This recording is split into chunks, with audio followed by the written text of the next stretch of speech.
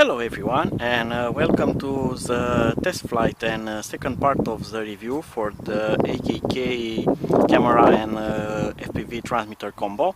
Uh, today I'm going to try to get some uh, distance with it to see how uh, it copes. I'm using a regular dipole antenna. The second antenna here is for the from the internals of the aircraft it has another video transmitter. They are working on different frequencies.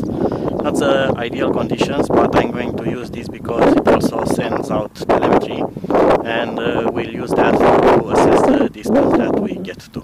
So without more talking we are going to go to action. Today is a bit windy, hopefully it will be okay. So I'm going to connect the aircraft, let it a bit steady to calibrate the gyro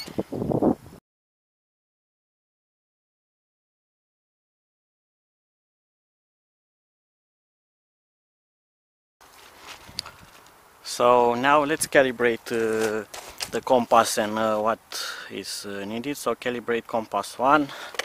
Oh, I need to rotate the aircraft a few times in the same direction until I get a compass 2 message. Compass 2 face down and rotate it until I get an OK message Okay, compass was successfully calibrated.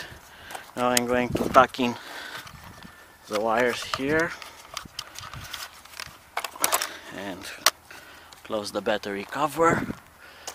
Wanna put it there.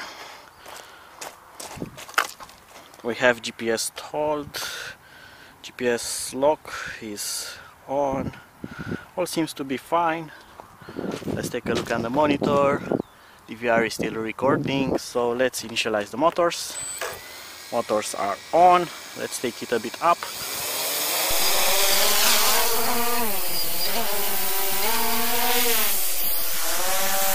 So everything is fine. The quad is doing fine. The footage is getting in just fine. So let's get some distance between me and the aircraft.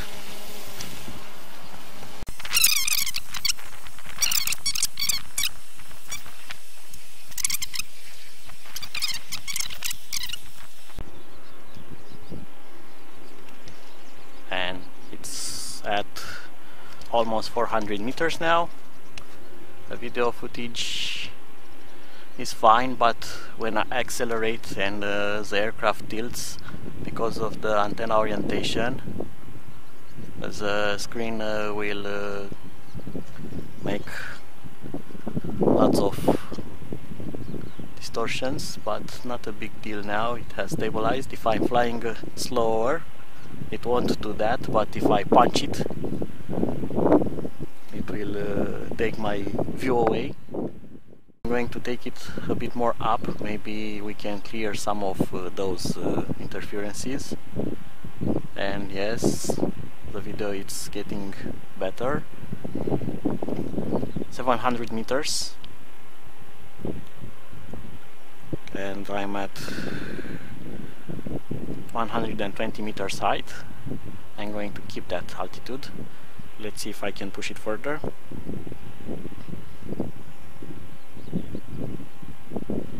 goes 750 meters.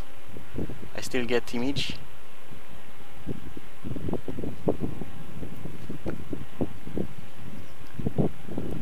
Now it's kind of breaking up.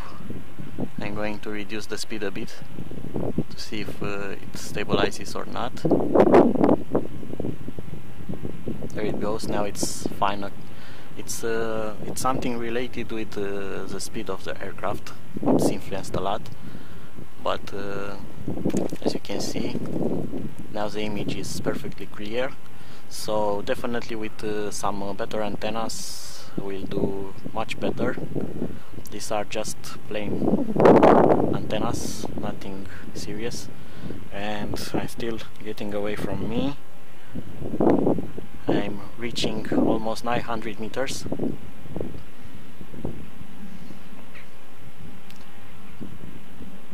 And I'm going to reduce the speed again alright so let's see if I can get it to 900 meters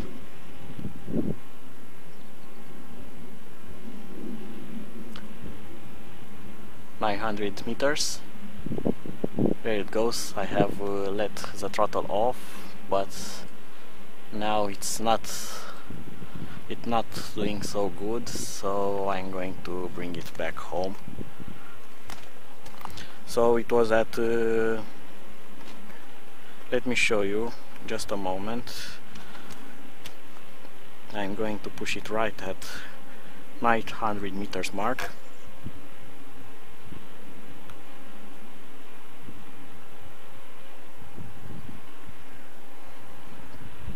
I'm going to try to take a snapshot of the camera with the camera of the monitor. So there it goes. I don't know if you can see it here.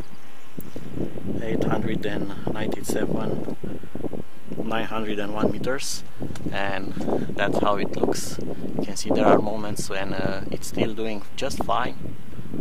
Uh, I'm definitely going to get a lot more range and better quality by replacing the antenna.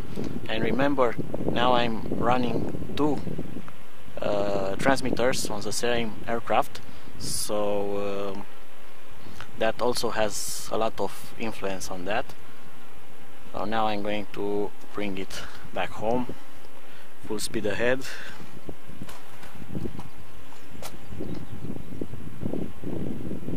you know it's called flying line, line of sight but I don't see it.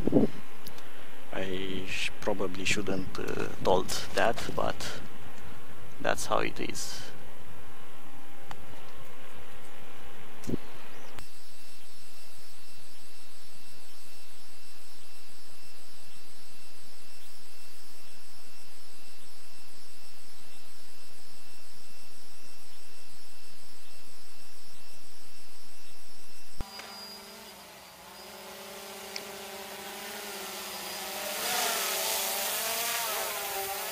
and there is my bird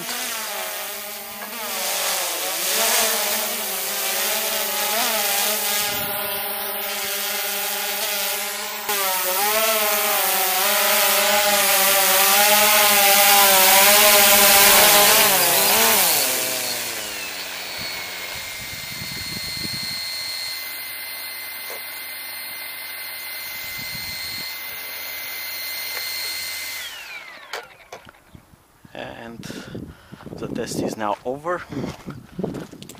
I'm going to stop the DVR recording so that it saves the files properly. Where is my DVR there it is. Okay recording it stopped so as you have uh, seen you can get 900 meters with powerful interference from a second uh, video transmitter there and uh, with a lot of uh, wireless networks around and with a simple dipole antenna. So this transmitter can uh, really be opened up with no interferences and uh, a better uh, a better antenna